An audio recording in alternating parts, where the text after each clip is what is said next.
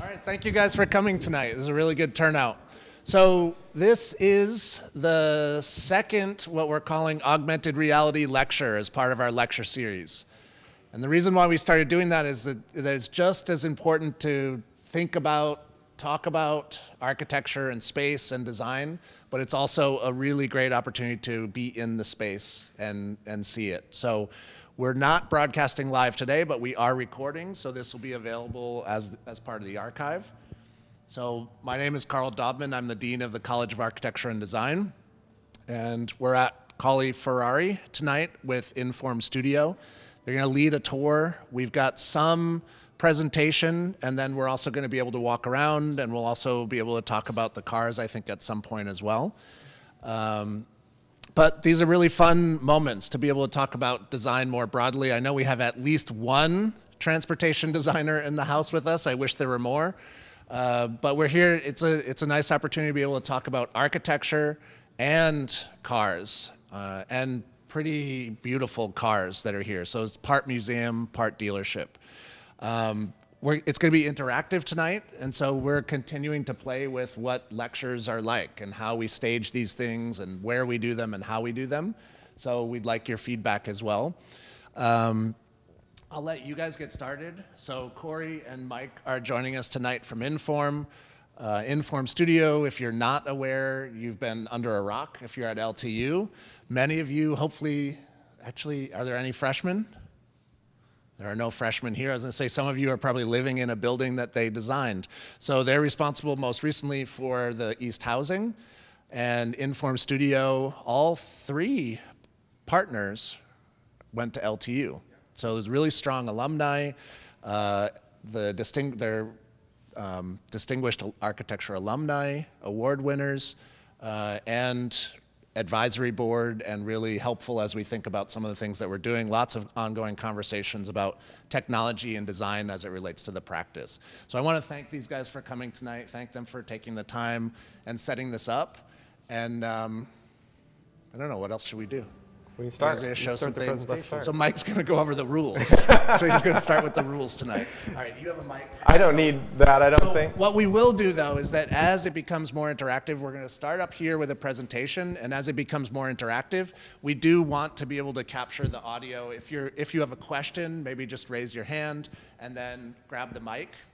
Obviously, the mic isn't to, to amplify in the space, but it is so that we can capture it for the archive, okay? Yeah, right. that sounds great. So uh, just real quick in terms of uh, rules of engagement, if that's cool. I know everybody's been up here and kind of looked around for the cars a little bit. Um, and I know most people probably came here to see the cars, not so much the building, which is, which is great. So uh, we want to be able to give everybody exposure to that. Um, but here's the thing about the cars. Try to keep 12 inches or so away just for protection. And if you kind of reach over or do anything like that, the alarms are actually set. So if you put your hand in or anything like that, it's going to go off.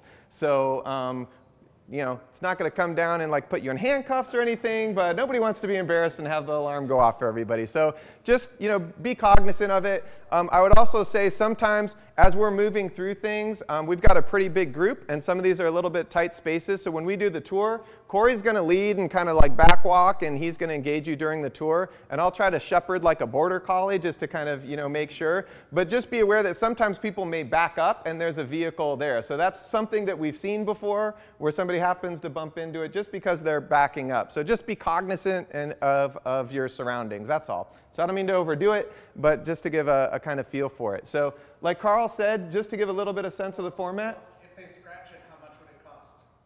Uh, way more than I want to be responsible for, so so that's for sure. Uh, we didn't have anybody sign anything, uh, but just uh, just for some statistics, I mean, a brake switching out your brake pads is about twenty five hundred dollars, and an oil change is six hundred dollars on these cars. So you can imagine the exponential cost of you know buffing out a scratch. Priceless. Yeah. um, just for uh, kind of logistics of, of the tour, we'll do a quick intro. It's probably like seven slides or something like that, just to set a little bit of uh, context for it.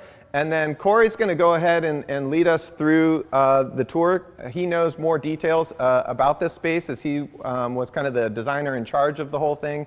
Uh, and, and, leading the pro project uh, really from start to finish. And then uh, we'll come back and kind of talk a little bit about some of the technical aspects after you get a chance to sort of see things. And then also, I think what is a little bit exciting, we're giving uh, sort of a sense of where this project has led to propel us into things that we're doing in the future. So really brief. Um, I think one of the things that uh, will also be helpful, we'll kind of go through this intro piece, but then feel free to ask questions as we go along. I'll try to keep somewhat time, so if we need to move from one place to another, we can do that. But that way, that interactivity, you guys can ask questions when we get to spaces or rooms as he tries to talk to things. I think one of the things we're really excited about that, that Karl had mentioned um, is just the idea that there's more of an interactive uh, relationship in this. So we love the idea of doing something different and being a part of this. So thanks, Karl and LTU, for inviting us to be a part of it, and, and, uh, and for the representation that's here, too, because it's great to see Steve and Scott and James, and uh, I don't know how many others are, are here faculty-wise, but uh, it's great to see everybody here. So uh, with that, we'll go ahead and get started.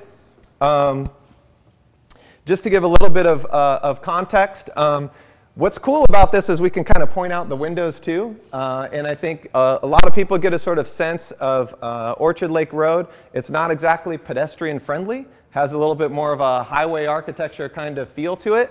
And so when we first, uh, and, and I think what's interesting too is to understand how projects sometimes start. So as a comparison, when we did LTU East, it was a client that kind of came to us, hey, we want to do a project. There's a certain budget associated with it. Here's a schedule. Uh, you know, we're evaluating your ability to do it. And so it's a very formalized process. What's sometimes interesting in, in, in these situations is this is prior relationship uh, that we had with um, Jeff Cauley, who is the owner, uh, looking at this particular, oh, we can't do that. Uh, looking at this particular um, building, this is, uh, was Cauley Chevrolet, and this was an existing Cauley Ferrari dealership. And essentially, through long-time friendship, Jeff called Ken and said, hey, I have an idea. I think I want to do something for Cauley. Would you be interested in just kind of looking at it, right? So it doesn't sort of start with proposal. It's like, let's just talk about the ideas of what Ferrari, and in particular, what Cauley Ferrari of Detroit wants to be. So just to give you a little bit of context, we, we were very close to the road in terms of the existing Cauley Chevrolet. Um, this was the existing Ferrari dealership. And the original intention was to renovate the Cauley Chevrolet to become the Cauley Ferrari. So when we first started looking at, at this project, um, you get a sort of sense of the dealership that was existing here and then the context of this all staying. What we looked at is um, really its relationship to Orchard Lake Road. What does it mean to create an environment that is along very highway architecture? And so the thought was, look, instead of having signage and all of these components, how do we create something so that you really have this sort of view so that as people are coming either northbound or southbound, there's an orientation to sort of capture the excitement or the idea of Ferrari that's happening inside.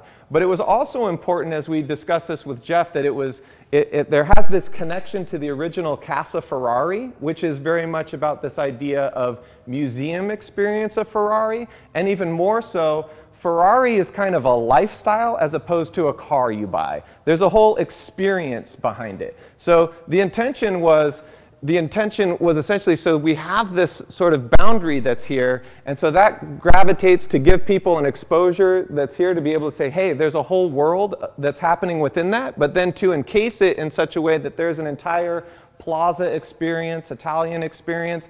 There was even a discussion of a market, kind of Italian grocer, and all of these things sort of incorporated within it. And so this is potentially part of a first phase of a larger aspect that may go on as, as this sort of continues that has to do with Ferrari experience. So that was kind of the thinking. There was this sort of fluid motion and the idea that uh, we weren't necessarily copying the morphology of car, but taking the idea of something that has continuity, that has a, a machined kind of aesthetic to it, um, is very forward and future uh, thinking. And so this became the sort of wrapper, and then this became the sort of internal experience. And it was really, hey, we just sat down, talked about an idea, uh, and then uh, essentially presented you know, a real quick concept, just to be able to say, hey, there's this idea of these sort of cars floating out there that people can sort of see from the highway. Uh, signage is, is sort of behind, but then the idea that there's also an entry experience and where you would have uh, essentially the showroom within it.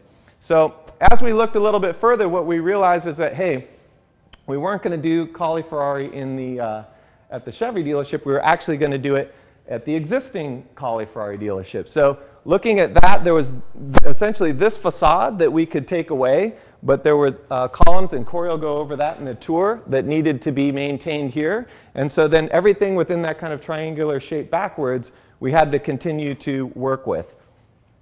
So in looking at that, essentially this being the existing Ferrari building, this being sort of the new showroom, the kind of experience that's here, and then wrapping, and Corey will go over the additional program that's there. But essentially now you have kind of encasing that dealership and sort of uh, floating around it. So as we looked at the adaptation of this idea of the skin here, it was essentially to be able to say, hey, we continue the same thought or the morphology with the wrapper that engages both north, this is kind of cool to be able to do, northbound and southbound in terms of that view connection, but really create this sort of entry sequence of experience. So you may notice in the ground floor, there's kind of those individual parking spaces, and then it can be uh, more of a pedestrian type of plaza that's there, but a very experiential, you might have noticed even when you were coming in, music's playing, right? It's already connecting you, and it's very processional in terms of your approach to coming in. Uh, one of the interesting things that we talked about, and this will be kind of a constant source of conversation through today, is this particular column. We hated the resolution of that originally, but we tried to get this as to be a kind of clean cantilever. So we went through this just, oh man, it was painful, painful iteration to like, how do we shape this? So there was all different kinds of sequences that were done to, to, to get rid of essentially what this would feel like. And so uh, in essence, what we came back with is this sort of idea that it sort of smoothly come down, comes down and touches the ground. And the reason I say that that's a source of conversation is you'll see the final result and what all went into making the panels and everything else uh, within it. But that gives you kind of a, a an overall sense of what um, the conceptual ideology of the project was to start. And then Corey can kind of take you through the program and start the tour. Um, I will say, I'm just going to back up one slide. Um, so when Jeff first came to Inform Studio and sat down with us, he was he told us that he was working with probably about $3 million. And you know, by the time we had sort of gone through this iteration and, and evaluated and, and redesigned and come back, uh, got a contractor on board and uh, you know, we were looking probably closer to six. So we'd really, and at that point he was in love with the building. So it's kind of like a little trick you can pull. You know, you get a client and they just like dives into it and they just love it. And you know, we did as much as we can. And I mean, we'll talk a little bit about how things got scaled back, but um, you know, really at the, at the end of the day, it's a 53,000 square foot facility now. When you, when you break out the existing uh, area, we really added about 39,000 square feet and they built it for $6.5 million. It's $166 a square foot. There's a lot of warehouse stuff, you know, in the back that really, you know, is, is rather cheap to build. But when you're building this sort of level, uh, you know, of architecture and, and, and you're under 200, I mean, it's significant and kudos to the contractor for, for really getting there. Um, you know, part of that initial meeting with Jeff, um, you know, had to do with the program. And now Ferrari is like any brand; they're very exclusive, obviously, but they set rules, um, criteria that you know you essentially need to follow in the design of their dealership. So, if you're in Tokyo and you're visiting Ferrari, it's going to be very similar in its not necessarily in its layout, but the spaces and the way you move and experience the space and the finishes in the space, they're going to be almost identical. And you can go online and check out different Ferrari dealerships uh, from around the world. Now, none of them have this outward expression. This is the first Ferrari dealership where we essentially had the ability to, you know, be very expressive with the facade. The only requirement we had to deal with from Ferrari Direct was the use of the silver Alpolic panels, the, the ACM panels that are out in the front. That was the only criteria. Use the silver panels. Everything else was you know, more or less up for grabs. And it obviously had to be approved by Ferrari ultimately, but we'll kind of get into that. Program, very, very simple program. I mean, we're dealing with, um, you know, basically an entry space, a showroom, um, a configuration room, uh, a lounge, a couple sales offices, a delivery room, which is where you pick up your Ferrari after it's all sort of modified and manufactured and sent, and then a secondary showroom. So that, that's the front house. This area here, I'll get into the, the intent of what this is supposed to be. It's very different. Again, this, this space does not exist in any other dealership in the world. It's Jeff Cauley's kind of brainchild, and he just wanted to make sure this type of space existed in his dealership. Um, there's, a, there's also a very large addition on the back. We're not going to get to sort of tour that today. It's very pragmatic utilitarian. It's an addition. When, they, when Jeff closed down Chevy Cauley next door, he essentially had to absorb all the function that that was doing for his Ferrari. So there's a body shop back there, there's a detailing bay, um, uh, paint booths, two paint booths. Uh, there's a car elevator, which is how we get the vehicles up here. Um, and also there's storage. They don't want to park any of their cars outside overnight, so the upper level in the back of house here can uh, hold, I think, 35 Ferraris.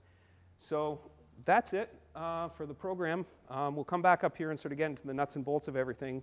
Um, we'll just kind of keep this really fluid, and if you want to just follow me down, we'll kind of just stop almost at the bottom of the rail here and kind of collect and talk a little bit about each program element. If you guys have questions as we're going through this, just you know, fire them away.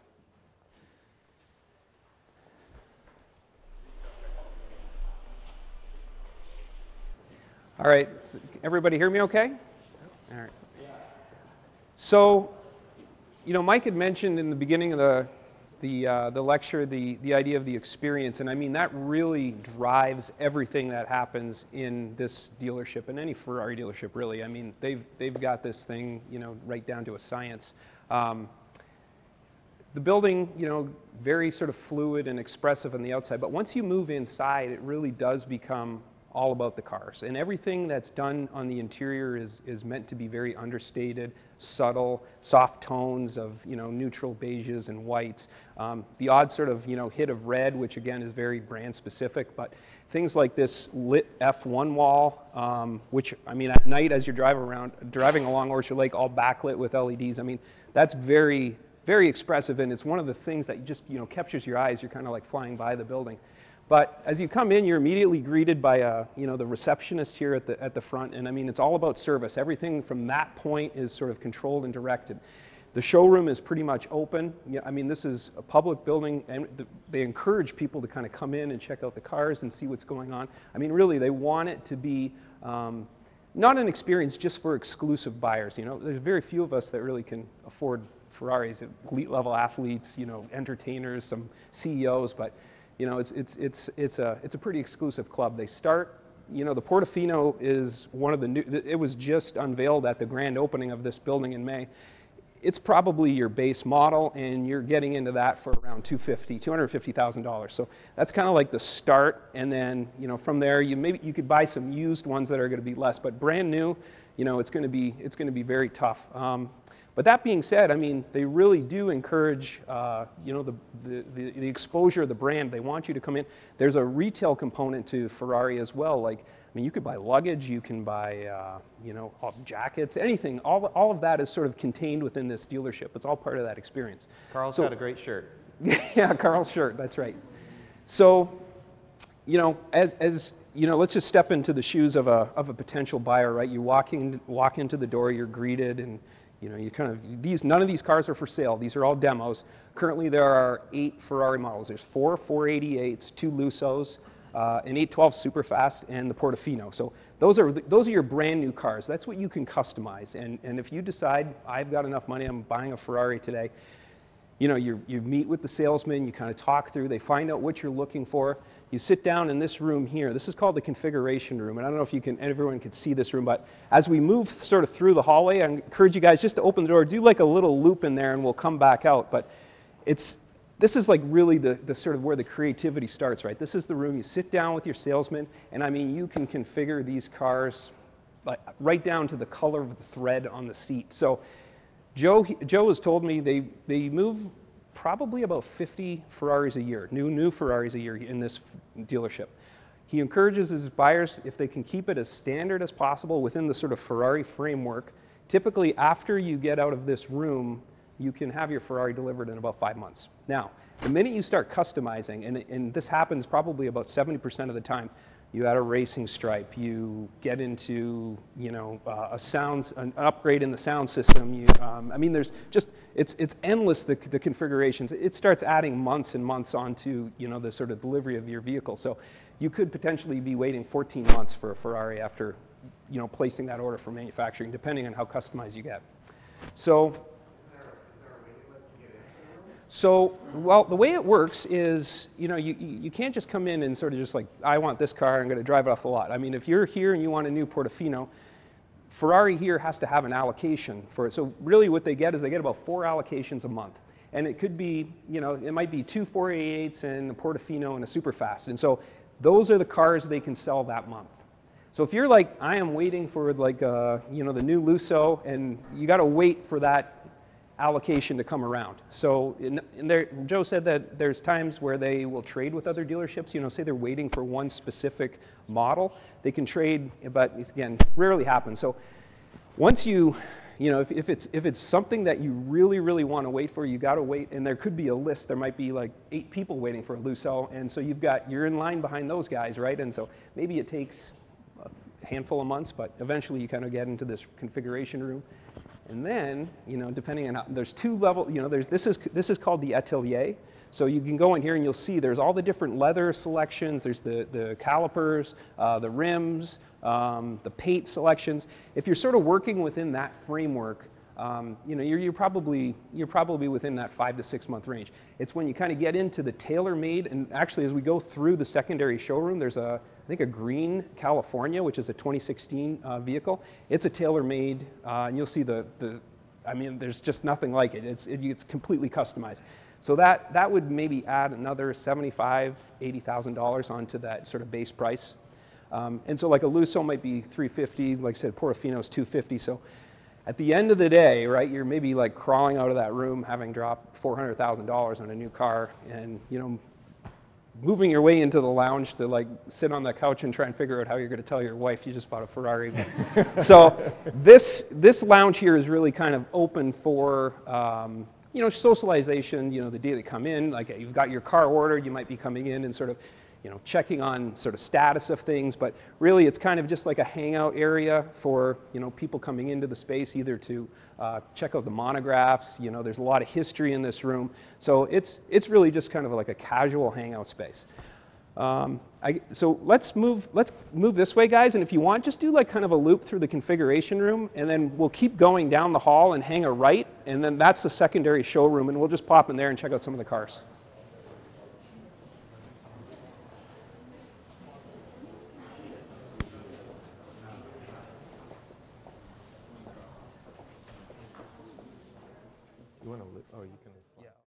Just to kind of get a feel as you're, as you're moving through here over to where Corey is, if you notice the kind of smoky gray in the glass, um, it's very much the sort of setup that it's very open and you can kind of experience and see everything, but at the same time, it's giving you a psychological understanding of, hey, there's kind of a difference between public, private within this, while still allowing the kind of openness and the transparency that's there. So you'll want to head over that way towards the yellow one, kind of collect in that area. It's fun to move everybody through this.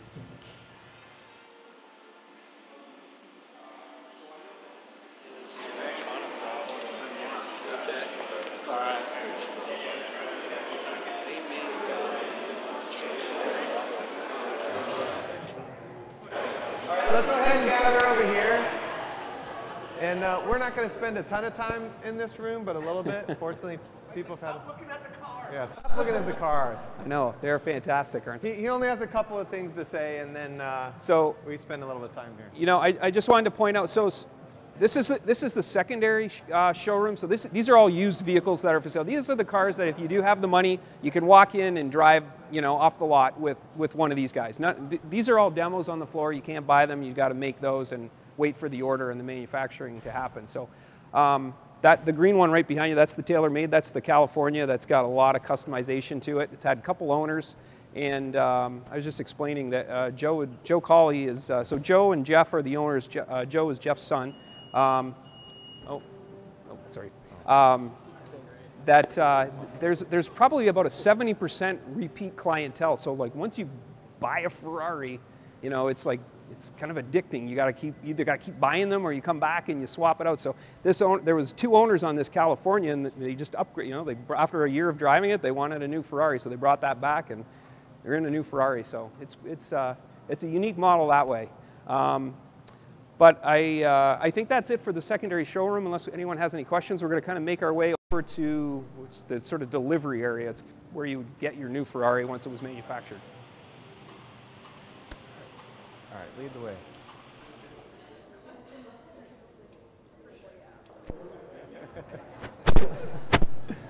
Oh, there's one starting up. There you go, Karl. Someone, someone started. Okay, we're run out. All right, so the last sort of piece of programming that we've got on this level, this is the delivery zone. So this is the area, you know, you've gone through the process, you've, you've paid your money and your Ferrari's getting manufactured.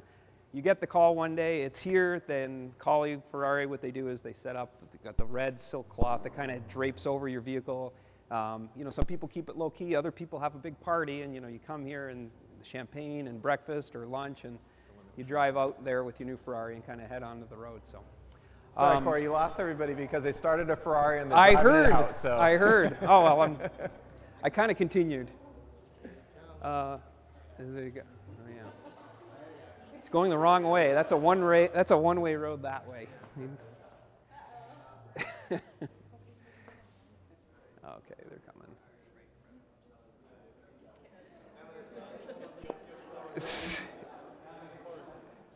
Next door, they're building a racetrack? No, uh, I think that's housing going next door. But we do. There is the racetrack that we're part of in Pontiac, the M1 Concourse, which Cauley is very familiar with. They take their cars out there. I'm not sure if everyone is familiar with the M1 Concourse in Pontiac. Essentially, it's a racetrack. Mike, how long is that track? 1.5 miles. We do. We've done some car condos in that area. We've done a lot of the master planning for that. So Cauley's a big, uh, you know, contributor to uh, to that track with their cars. Um, Knock you know, on wood, the event center will start construction in the next couple of months. So. Yes, if you saw, if anyone saw Mike's lecture at LTU, I don't know when that was, like in this fall. Anyways, there was some presentation. That was part of the presentation, and and yeah, that building is, is finally uh, looks like it's moving forward. Um, architecturally, what we'll do is uh, as we kind of move out of the space and go back back upstairs, I've, I've got a number of photos, number of sequences that really sort of show, you know, how this space, you know, came up and, and really, you know, is what it is today. I mean, exposing really the constructability and, and how this thing was really pulled together and built. These, you know, this steel column right here, and really along this line, and there's another, you know, there's another steel column over here. That demarks the edge of what was the existing Ferrari dealership. So that was the structure that we sort of, you know, latched onto.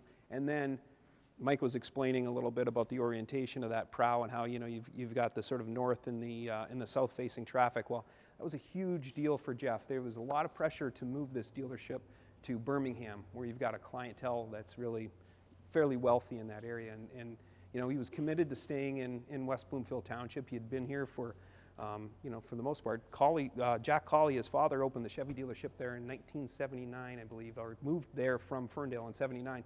So he had been committed to this area and he'd been here for a long time. And he was really just, you know, he wanted to ensure that if I'm staying here, we're going to make every effort we can to kind of get closer and really pull this building out. And so that resulted in, you know, the, the idea of the architecture sort of extending out. And again, events here all the time. Uh, Sunday, there were 80 people upstairs watching the F1 race. So a, bi- a big deal was, you know, the inclement weather we have in Michigan. You never know what you're going to get snow, rain. This, this covered area was extremely important as sort of people pull around and they get valeted. Um, you know, that, that sort of facilitated the idea of this mezzanine. And so when we get upstairs, we'll talk a little bit about the programming in the mezzanine. But um, again, it's a very unique feature to, to any dealership. It really doesn't exist.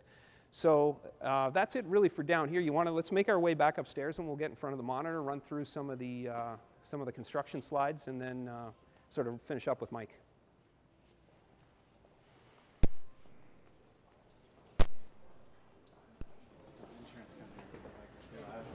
Hey, Corey. Corey, are we covering the connector? Yeah, so let's. I was going to talk about what we got programmatically here. I mean, we do it right from here. So, mentioned earlier that you know this is very unique space. So Jeff always envisioned this space here becoming um, almost the museum, like the the retro vehicles, right? These sort of we've got a 90 Testarossa here. Um, what was the what was the year on the on the far car? Is, is that 328? 308 The 308, or 328. 328, yeah. 328, I think, was uh, 88. So a lot of these owners, I mean, are I mean, some of these are for sale, and some of them are just they're owners that just you know they they donated the car in a sense to to kind of have it displayed up in up in this space. In fact, I, I talked to, um, and these cars here at the windows rotate. There was an 84 uh, Ferrari in the window at the grand opening, and it was guy he bought it the day after his divorce in 1984 as like a celebration and he donated after you know so many years he wasn't driving anymore he's like what am i going to do with it so gave jeff a great deal on it and so now it sort of floats sort of through the inventory um, you know when it comes to sort of getting the vehicles up here there's you know this connection across which was uh, part of the challenge in the constructability of everything and, and really connecting the back to the front and doing it in a way that was um, delicate and, and uh, you know, really sort of unobtrusive. So in the back, as you kind of go through, like I say, this these set of double doors opens, and then there's another set. We've got about 35 cars stored up there, and then the, the access to the vehicle elevator, which drops down into the body shop. Um, you know, this, this, this is kind of like a Ferrari graphic, this timeline. Uh, again, you kind of see the, the 71 year history of the, of the Ferrari. Every now and then, Ferrari releases what they call a supercar, and it happens, you know, maybe every 10, 15 years. La Ferrari was the last one. Um, sold for about 1.4 million, escalated in price. I think once you dealers put certain people's names in a hat because they only make about like 299 of them, and uh, you know Ferrari sort of then picks from a very exclusive list of people who's going to get these cars, and then they have a contract that they can't sell that car for like 18 months. And after, after that point, then it's, you know, I think the LaFerrari peaked as high as 4.1 million, and it's sort of hovering right now around $3 million. So they are investments for a lot of people. They really, they don't, they don't devalue at all. If anything, they, you know, spike. So, um, but a big, another really sort of cool feature, if this is sort of the museum piece, um, we've got this is like Jeff's, like where we're sitting, where we were sitting in front of the monitor. It's the Casa Ferrari, and what that's that's like a space that, in a sense, pays homage to uh, the Enzo Ferrari house in Italy. It's a, uh, the original Enzo house. When dealers go to Maranello to see the factory, to visit for tours or driving, uh, they've got like a driving school for, for dealers. Um, a lot of that, uh, uh, they, they get the opportunity to sort of stay and hang out in the Enzo house. And so what Jeff was trying to do was capture, in a sense, the feeling that you have in that home with the, you know, sort of the, that's where we transition from this, you know, two by four, uh, you know, imported Italian tile to, you know, just sort of the wood flooring and really the sense of a, a, a more of a, a, residential homey feel over on that side of the mezzanine as opposed to this. I should also point out that everything in this place is imported from it, like the tile, all the furniture, uh, a lot of the millwork, the custom millwork, and I'll kind of go through some of those details all of it is imported. And so that had to be factored into the whole construction of it. I mean, this is stuff that's getting put on a boat, you know, shipped across the Atlantic. It takes time. So it's, it's easy to kind of get ahead of, you know, the, your construction time when you're sort of sitting there waiting for something like the curved glass on the, uh, on the office space. That, that was like the last thing to show up. And it was like ordered you know, four or five months prior to actual, you know, installation. So um, the last piece that we'll talk about here, and again, I'll, I'll kind of get around, but right around the corner, one of the things Jeff really wanted to add in here was this outdoor terrace, and you'll kind of look, and, and it's got like a wood deck. It's the most, of everything we've seen, the most complex piece to construct was that terrace because everything is happening there. The, the, the angle's dying, it's swooping down, it's uh, coming and hitting a canted surface. The deck is dropping in order to drain underneath uh, the wood tile, and that's pushing down into the uh, clearance for fire truck on the underside. So it was just, it was like just a swirl of, a nightmare swirl of just, you know, things all coming together and really having to work with the structural engineer, the contractor to, uh, to really make that, that space happen. So, so you call um, 30% of the fee going into 150 square feet of the project. yeah, it felt like that at times for sure. But it turned out great, and it's a cool little space out there. And like I say, after we go through, feel free to kind of, you know, check it out, walk out there. So let's hop back to the monitor, and we'll run through the rest of the presentation, and then wrap it up. So what's the question? Do they drive them here, or do they push them on the cars? Um, I think they drive them. They might push them through the door. Like I think, yeah, just to kind of, because I mean, it is like inches. That was, I, that was something we had to be really. We must have double checked that three times with the with the shops, and like the guy uh, was Glasgow out of Detroit, and they, they did all the curtain walls. Like, make sure this hits. yeah, it really was. Um, so the, the framework for the rest of the presentation is, uh, is really we've I've kind of broken out the, the spaces and, and shown some of the development and the construction imagery that kind of went behind some of the detailing because one thing you guys will learn as you, as you kind of you know, graduate out of the program and get into firms, it's, it's I don't say it's easy to design things, but it's you know it's the with the software and and uh, it, it's really easy to kind of conceptually envision this sort of space. But it's really what comes what it comes down to is when you try to build that and come up with the details, that's when it's really challenging. And so you know when you when you conceive of something like the very first image that Mike showed of our concept for you know, we had glass boxes that were like no mullions floating, hanging over, you know, 30 feet, uncanny, you know, I mean, just if it came to building that, that's where you, know, you take the step back and it, it all has to make sense. So this, this sort of next sequence of slides will really start to illustrate how we go through that. And, and obviously it's going to change things, but at the end of the day, you really want to preserve that concept, your original concept. And you go through the hoops and the challenges to, to make it work. You push your structural engineer and you push your, you know, your mechanical. Uh, I mean, the mechanical guys, I don't know if you've noticed, but there's not a single exposed mechanical uh, um, diffuser down below, except I think maybe along the window here, but everything is like tucked up into the coves. And I mean, it was really challenging work for everybody involved to kind of really pull this off. It's a little bit different here. And I, one thing I should also mention is um, where, you know, there's a sort of a conformance to a, uh, a prototype on that lower level. This was not in that sort of prototype. So Jeff had a, a, little bit more leeway to kind of like do something like this where we're exposing the structure and he's saving money but you know, never would you ever like have this type of look in the showroom. It just wouldn't be allowed. So there's this sort of transition that happens as you kind of move towards the showroom where we kind of go back to the showroom tile and the, you know, the clean ceilings and the lighting. I mean, I've got the ceiling plan in here. We'll have a quick look at the lighting packages through the roof. So, um, oh, let me just, oh yeah, so this is the programming sequence I just wanted to kind of touch on real quickly you know, the car kind of comes up here, sort of loops around. This is where they've got all this, you know, this was built first, this, this sort of pragmatic box. And then as this sort of came online, um, a lot of the function from the, the building to the north started to move into here. And then the guys focused really on the construction of this. So, you know, that, this, this administration piece, that offices we walked by, those were existing components. This was the existing secondary car showroom. Uh, again, we just sort of freshed up some paint and just sort of left it. So there's the, yep. So yeah, so terrace is right here. So you can see it's, so this is, this is sort of starting to dive down and then we start to cut down and we're, while, we're, while we're bending out here and cutting down, we're also curving and then it's also tying into, you know, a wall here that's canted and turning at its own, you know, uh, radius. And so this is, this is where it gets really challenging and it's above the, the canopy space at that point, and like I say, the clearance issues, the structure, it was, it was something else. Um, this gives you a sense really of the, of the overall planning of, of the facility. So, you know, this is broken up into body shop here. We've got the paint booths, um, detailing and car wash, showers and locker space for employees. Um, you know, back here, this is, you know, coming in, you bring your Ferrari in for service, you pull in, you get out of your car, they basically take it in from here for service, and you know you can go hang out in the lounge, wait for your oil change.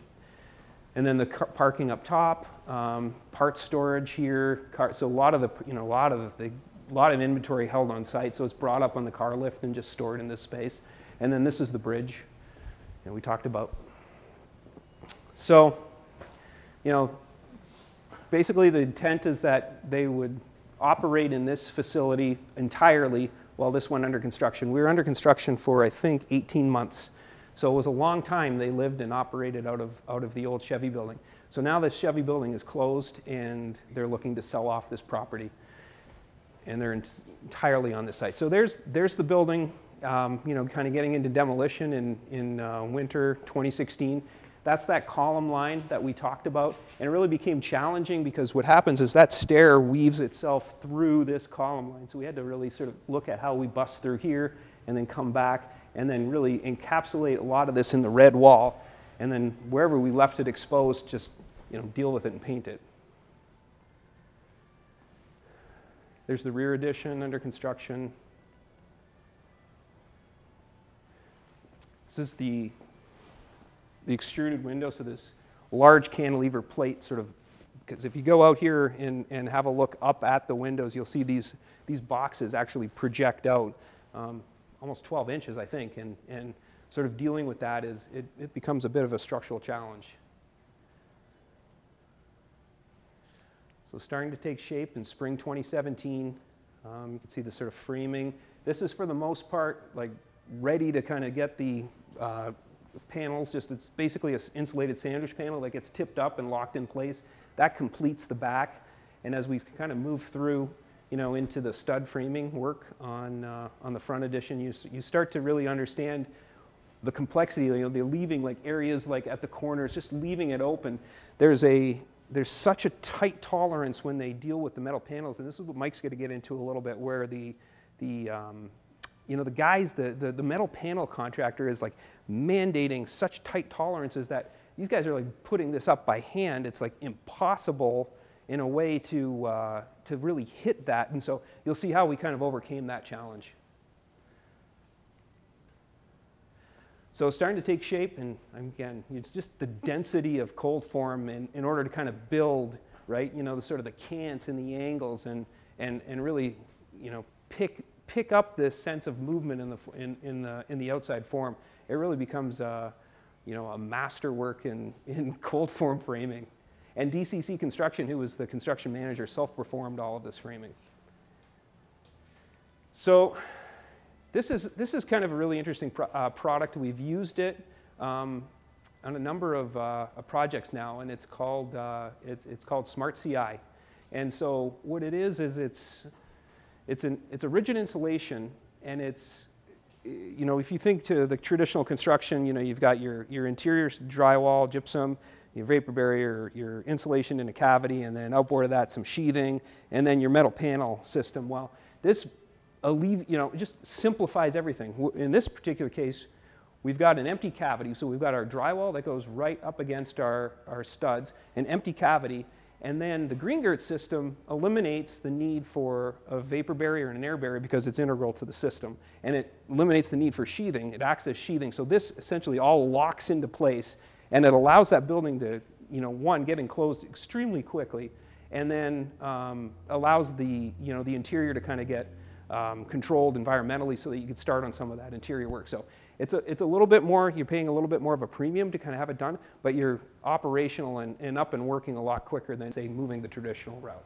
Probably another really interesting thing about this particular system is the girt itself is a composite, so yes. you don't have any thermal bridging in uh, the fastening uh, uh um, that's happening in between them. So it's, it's, it's really an efficient system, right. uh, both from practicality of installation, but also uh, for performance.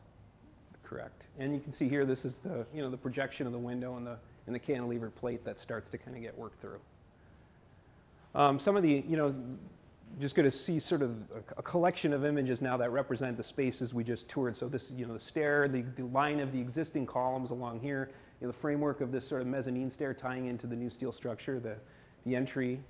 Um, you know, the guys worked meticulously on the, on the gypsum board. They just, just, they did such a fantastic job. I mean, it's, it's just, it's, it's perfect if you go through. I mean, trying to find sort of uh, imperfections in the, in the gypsum, it's, it's, it's, it's impossible. Maybe something to touch on there that I, that I think is, um, it's inherent in the culture of Ferrari that sort of comes with it, right? That there's this kind of meticulous um, attention to detail and perfection. And so you have that inherent within this.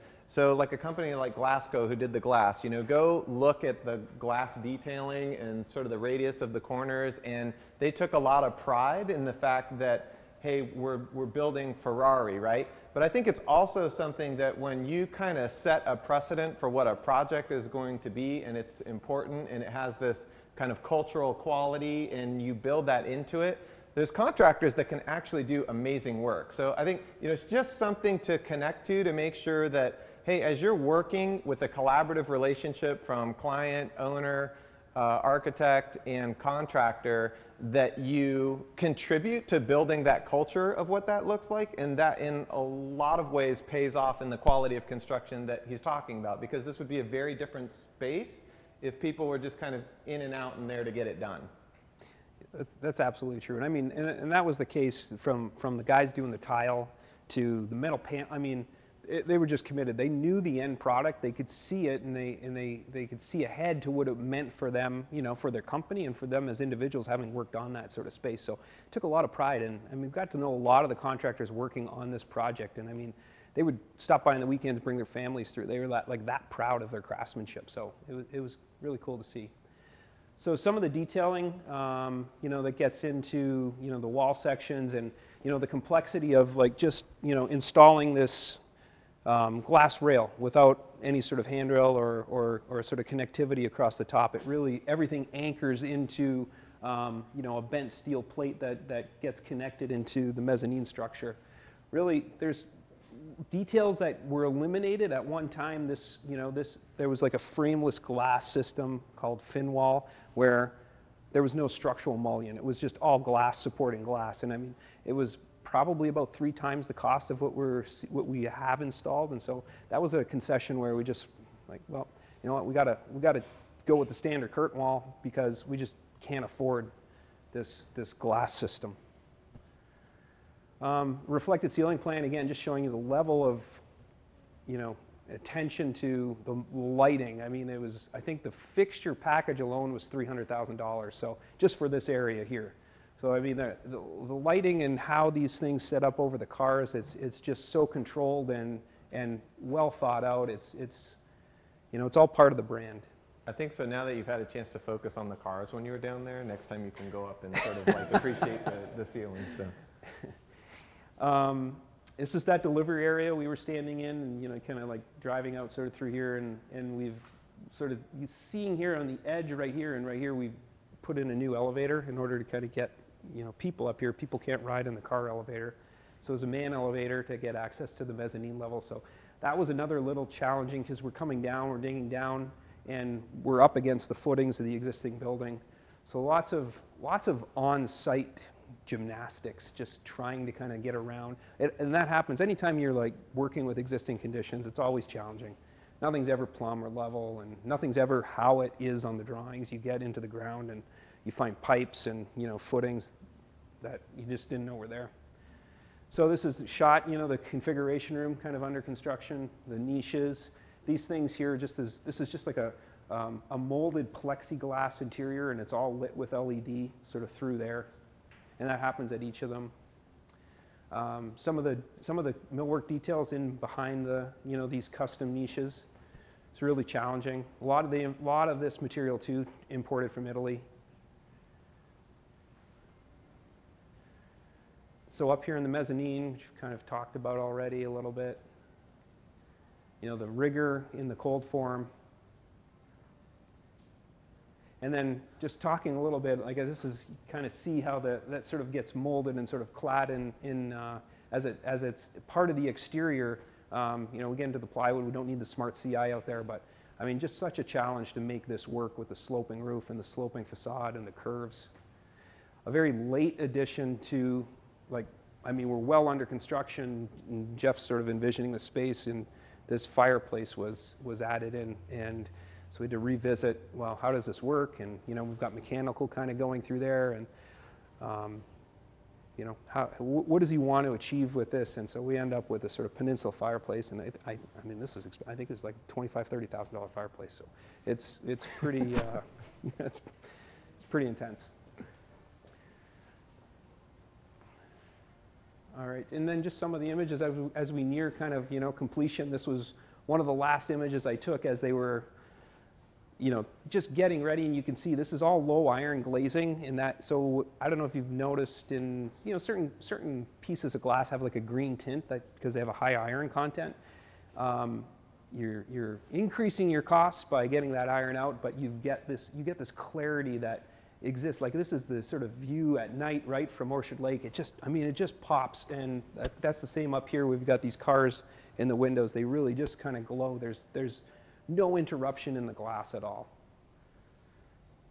So some of the sections, so this, uh, you know what, I wish I would have put in the section through that terrace, but I didn't. But you kind of see the depth that we're dealing with. And, and as we step out there, there's like a, um, you know, there's a good 12 inches of depth. These are, that's like a sort of a built-up system called Bison, and um, you know, there's a sort of a sloping. You really start to push into the structure, and how that actually works. It's actually a one inch thick plate really that carries a lot of that deck out there. And then, Mike, I'm going to kind of hand it over to you. We start getting in a little bit into the panelization on the exterior and, and really in order to kind of get to this spot, we needed to do a few things. And, and uh, this really has to do with, um, I think, this transition of not only how it contributes to this project, but how we're thinking in projects to the future. So even if you kind of go back to the idea of the density of cold form framing that was here for Corey, what we wanted to say is, okay, we learned a lot of things in, in uh, terms of um, morphological experimentation and some tools that we use to accomplish that. And so we'll show some of those, but also what are the lessons learned to take us uh, in, into the future of the sort of next uh, phase of doing this.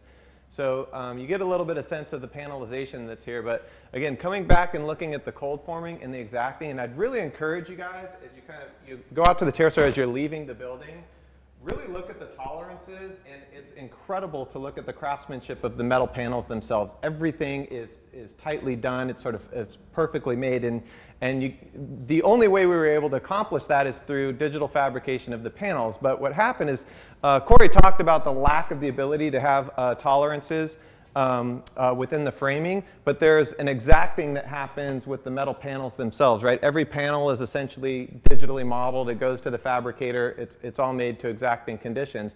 So what we had to do is after we had the cold form framing is essentially you do a digital scan of the existing cold form framing so that that becomes uh, a model, right? So the whole thing is mapped and then it's put together as uh, effectively a model. So you get a sense of, you know, we're now wrapping to kind of the uh, southwest or southeast portion um, into the uh, southwest portion of the building. There you can see, right, that sort of terrace that's essentially uh, within that that's made. So everything is essentially uh, point cloud scanned. Um, and then we take the point cloud scan, and the idea was to then take the metal panel model and manipulate it to match the point cloud scan. So you get a little bit of a sense, I may need to kind of rotate this here. i may or may not be able to get this one to work. yeah, Subi. Subi's fault. I don't know why it's. Uh, you can probably hit escape and play it from that. Like hit escape. I'll do it from here. There you go, it's working now. So right, the whole thing is reconfigured. We talked about the kind of, call it the stem, uh, that's sort of there. So what happened when we did this whole scan, right, is we remodeled the whole thing, but there was a lot of effort put into this particular piece. And uh, so when the metal panel manufacturer came back, they just kind of thought, hey, this will probably match up with what the other one is. So it's one of those things, right? Like you come back as a you know design team and you're looking at it and it's like we can't get past the inset, so it break right. Everything that we did to kind of keep the continuity in the reality of it was broken. so we're still in conversation with the metal panel manufacturer to kind of you know resolve this type of thing. But that's where it becomes really important to um, make sure that all of your collaboration and, and, and all of your connections are essentially uh, made so that you, you accomplish everything. But it was, it was interesting just to see the kind of skill that they were able to do through digital fabrication in terms of achieving that kind of level of perfection. And it was very much seen like the precision that's in a vehicle comes to the precision of the finish of, of this building um, became very evident in it. And that kind of takes us to um, lessons learned for a project that's uh, nearing completion now, the, the Providence Pedestrian Bridge. But we just wanted to illustrate this was also a project where you see it's sort of broken up into these five foot sections, which you can see, but sort of the compound curves uh, that are happening uh, within it. It has a very fluid quality to it. Um, you may not even be able to tell here, but the depth of this changes at every panel, and you can see where um, sort of curves start to emerge and wrinkle sort of within uh, the skin of this whole thing. And so it was really important um, to sort of figure out how to accomplish that. So what we like to do is sort of show, right, this is, this is what we do to win the competition, but this is the model that we had to make that image. So you can imagine it's two very different things. This is just a lot of Photoshop and yeah, yeah, yeah, you know, here's the intent. And then there's the kind of like how you come to reality. So what we see is how projects kind of work in parallel uh, with one another. So while we were working on this, we're also dealing with the skinning of that. So what we're finding is Rhino becomes a great tool for NURBS and for you know, making uh, compound curvatures. And that worked for essentially this project, but when we, when we, or for Ferrari, but when we get into this and there's sort of small manipulated changes, it's incredibly painful to try to manipulate each one. So Wait, what, I'm sorry to interrupt, but I just want to Yeah, point out please one thing do. I love this. Is this, this is what this is what it looks like when an architect designs structure. this is what it looks like when a structural engineer comes in. so, they, and, and unfortunately, we're living with the reality of this, but it's not that bad. different. Yeah, it's, not different. that bad. So, That's true. Architect, kind of mid, went there, and then we got it closer back. Probably, probably closer to 30%, Yes. hopefully, is, is where we ended up. That is very true. Um, but you can see where this started to work uh, is essentially, you know, getting it to five-foot sections, but um, then that was really the application of where Grasshopper came in, and I was telling Karl ahead it. So uh, Zuby, who's um, essentially our uh, digital guru in the office is, is not here to do his part of the presentation today and he had the keys to the video that shows how this works and we couldn't get it because he's in nigeria uh, proposing to his fiance. So congratulations zoob cute anecdote. So um, but what was interesting is he had a lot of uh, conversations with people so that uh, effectively, what we could do is he broke this up into five different sections, which are color coded within this. And then imagine creating scripting in uh, Grasshopper, where effectively, if I look at this piece, what he did is he created an interface so that I could just pull one side to the other, and this would sort of slide in or slide out depending on uh, the overall adjustment that needed to be made. And so what happened a lot of times is we would get information back from the structural engineer with the primary structure, and suddenly something is sticking out. And you can imagine panel by panel, he's going to have to like readjust this whole thing, as opposed to scripting just allowed him to evenly smooth that whole thing out. So we found it to be incredibly powerful to take the lessons learned here where we just kind of made it to skin it to then start to do scripting so that we could more quickly go through these iter- iterations and, and uh, deal with adjustments. And then also sort of working back to this idea that we uh, talked about the density of the cold form framing here, working very closely in collaboration with fabricators. So you have the panel, which is originally uh, rationalized, then it automates kind of creating boards and the armatures, the tagging, and then unrolling and cut tagging. So effectively, you get a whole system like this that's essentially put in, and the scripting is still capable if we end up having structure that comes out to make that overall adjustment, that it literally uh, can work from the system all the way from the individual panels all the way to the armatures and, and the components. And so then all those are effectively digitally fabricated, and you see how they come out in individual panels, and then this is how uh, it goes up. So what we're finding is that the, the learning is giving us the opportunity to sort of move through the morphological changes in a much more iterative and quicker process. And then also for the digital fabrication component to achieve things that you can see that it's pretty easy for these guys to sort of take these sections at five feet at a time and sort of put them together. And so this is where the, the column's looking better there. Yeah, the column's looking better. Um, although each one has to change because the width of the bridge Right. changes, which is why they're, they're all different. So again, um, I don't know what Corey's problem is. He can't make anything the same at all. Everything is different. That's not necessarily only his fault. Um, but uh, it's been great to be able to, to continue. And I would say that there's a tremendous amount of LTU alumni that's been involved in this. So um, everybody should be really proud, I think, as a university. Um, I think we have almost the entire alumni of uh, LTU uh, DigiFab Lab um, in the office.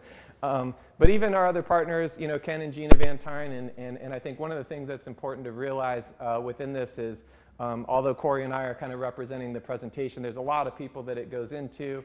Um, Ken handles so much of the technical aspects of what's going into these things, and you guys are going out to commission essentially the lighting on this bridge a little bit later uh, this month.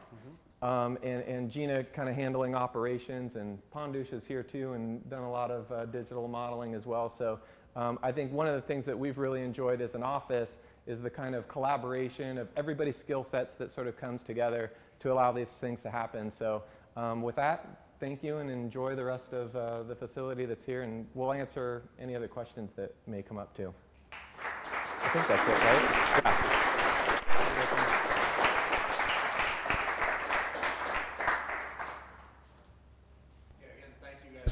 For doing this. Thank you to the dealership. Also, thank you to eLearning for helping to film this tonight. I mean, it shows a really great example. It's great to also see the progression where we talk about design, technology, and practice, and all three of those things coming together here tonight. So I want to thank you. This is great. Yeah, thank you. Thank you. Questions from the audience?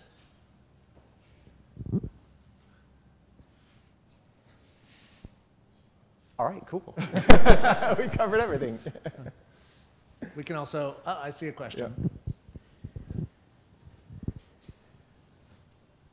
So when you guys are talking about like the insulation boards, how it's like kind of everything in one, like I imagine that's cost that costs more than your average insulation board, but what are like the savings that you get eh, rather than doing the traditional layers? Like obviously you get the compact section that you needed, but like did you actually have a cost savings on that as opposed to traditional construction methods?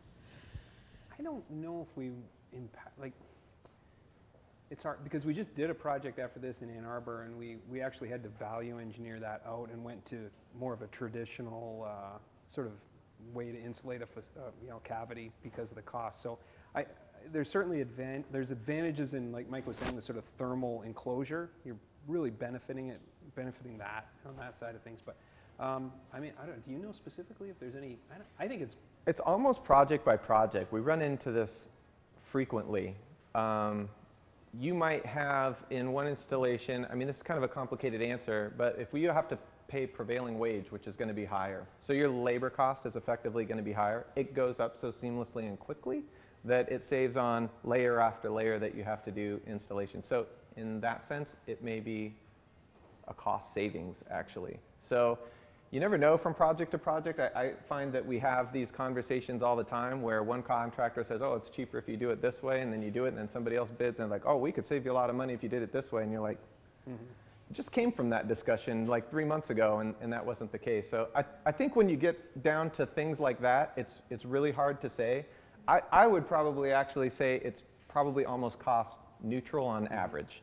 Um, and, and we're seeing green girt happen more often, but that probably, I think that application, Grace Bible, was something that was low labor cost. Right. So, you know, it, it, it kind of neutralizes what the um, compactness of the system and ease of installation would be. Um, I'm, you probably worked on a budget, like you said, but earlier you said he had to focus on detail, right? And I just wanted to ask, did you ever, did he consider like highlighting the cars? So in the interior, maybe elevating the cars from the floor so they can move, or like the lighting is pretty general right now. Did you ever consider like maybe making them, you know, focused in just one car and then it starts to like shine and I'm, I'm just asking because like showrooms. Uh, so I don't know if you the the Lamborghini showroom in Dubai. It's like insane. They have like this skylights that kind of like just come down to one Lamborghini, and you're like, why would you do that? But did you think um, about something like that? It's kind of it's it's it's really it actually there's they do have so Ferrari has a system it's a Barrisol system so essentially it's the footprint of the car and it's sort of it's it's usually in, installed in like a gypsum ceiling and it's completely and entirely lit so you've got this sort of diffuse glow that sort of hits the car and we actually had two of them uh, you know sort of like they were supposed to be here but we saved so much money by removing the gypsum exposing the structure that that that idea kind of went away you know, the, the, these cars here were the two that we looked at maybe like, you know, because of the angle of, you know, view, do we try and raise them up and, or tip them up a little bit towards, it complicated things. They do change them out quite often. So it really, you know, I think this was an example of, uh, you know, application of VR as well. We put the car in, put on the VR goggles, stepped out to the street really to say, are we cutting off half the car, you know, with, with the angle of view? And it actually really doesn't cut much off. It's, we've, we've tried to keep, you know, the, the, the frame as flush to the floor as, as possible. And then the lighting, you know, around the perimeter of these openings is meant to really sort of like hit these cars so that when you're outside seeing them, you know, you're seeing a well-lit car. Again, this area didn't conform necessarily to the Ferrari prototype, and, and so it doesn't have all like the lights that, I mean, you go down there, I mean, those lights are specifically positioned to really highlight that car as much as possible. And you don't want, uh, it- you don't want like the glare, you don't want to be hammering it so much that the light is sort of detracting, right? You don't want this sort of like glow to kind of happen over the car, so. That I think answers your what you're going to find with, with Ferrari, there is a there is a philosophy about curation. So I think what you'll find that even though this um, project has some formal expression to it, when you really look at it, is that kind of cleanness and simplicity that he goes back to that you're not seeing a lot within this. There's a, there's a lot of effort that went into letting things kind of disappear and it being about the cars. So, you know, in the areas where you're seeing it's not about lighting package and sort of, hey, what's this, um, you know, sort of pump up the music and get, it's very much, this is about the cars, it's, it, you know, about their philosophy and sort of highlighting that. Um, I think it's kind of interesting too, Corey had mentioned, you know, kind of, hey, you bring one person into a Ferrari, they get the first one, they go the next one. And so just anecdotally, um, I happen to know somebody who had, if you look at the black uh, that's a 328 GTS. But he had a, a black 308 GTS, then progressed to the Mondial, which is the next one that you see there, and it was a red one, and then progressed to the Testarossa, which is the third one there. And it's, it's almost like there was this sort of sense of exactly how they progress you from vehicle to vehicle uh, as a part of the culture. Um, I don't know as much recently how that works, but it is a testament to the idea that, hey, they kind of bring people into the Ferrari family, the lifestyle. And so, like when you're talking, hey, what's the newest way that people are doing things? No, it's more like, a, hey, this is a consistency of excellence that stays, but it's very much about the vehicles. It's, it's so nice and cozy back here by the fireplace. Yeah, it's warm. Corey was also mentioning earlier, and I don't think people heard him, but the X, the diagonal bracing that you see over the stair, and that's that had to do with the old building to the new building, or maybe Correct. It- talk a little bit about that.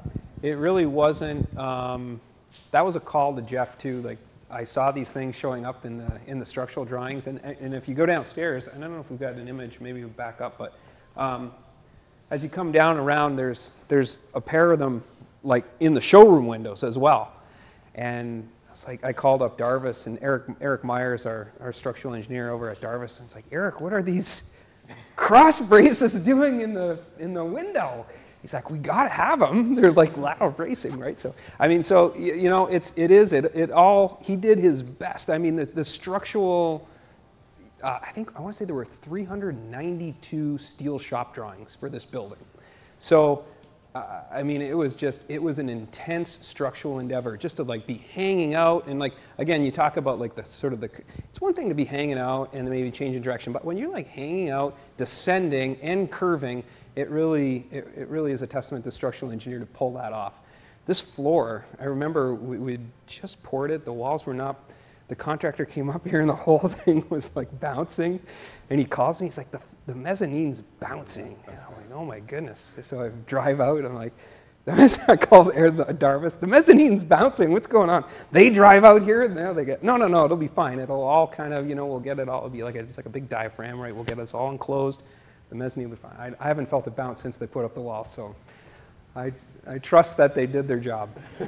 so yeah, all of that is, uh, you know, it's just, it's, it's just required. It's, it's tying into that existing building. I think also one of the interesting things that he pointed out is the 392 shop drawings. Um, uh, imagine the kind of back and forth of all of that was also something looking at uh, the delivery method for the bridge. So where we were actually able to deliver the, the kind of that skin model that we showed you was part of the deliverable so that the fabricator could essentially take that, build his model from it, and then give it back to us as a shop drawing to review. So far less shop drawings on probably something that was a lot more complex than what we had here. So again, it's kind of taking those stages of how do we simplify this but still be able to deal with as much formal expression uh, as a project uh, would like to see in it. Thank you guys for taking the time tonight. This was great. Yeah, thank you.